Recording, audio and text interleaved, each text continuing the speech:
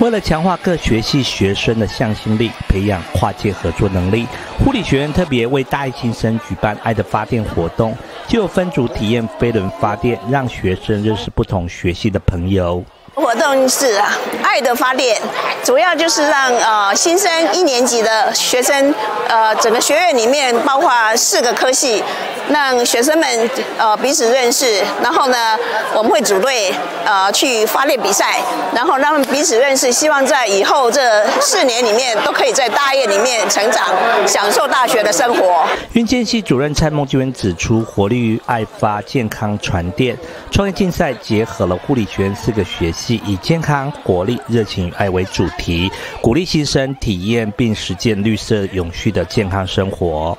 呃，在这个活动里面，其实我们有一个很大的目的，就是除了要让新生。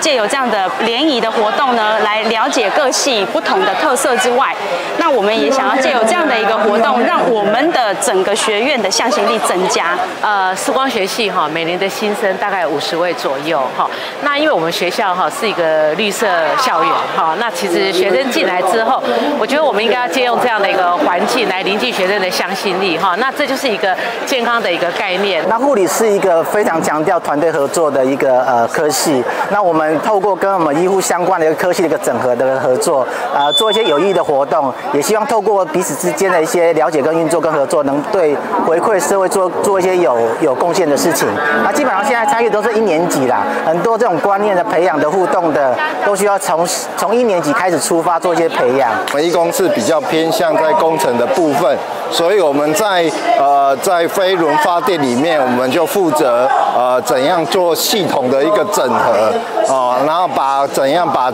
电跟结构，还有我们的飞轮的呃传动的部分做整合起来，让我们的学生在呃